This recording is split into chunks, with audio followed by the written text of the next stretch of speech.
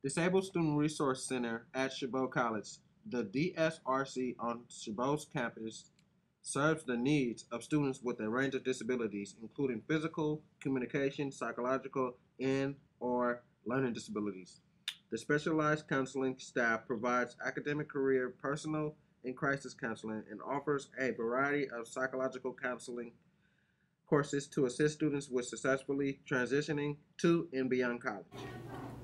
To be eligible for the support services through the Disabled Student Services Program, you must first submit a verification of disability form signed by a physical or agency and an intake form available from the Office of Disabled Student Services in Building 2400, Disabled Student Resource Center, DSRC. Contact 510 723 6725 for more information.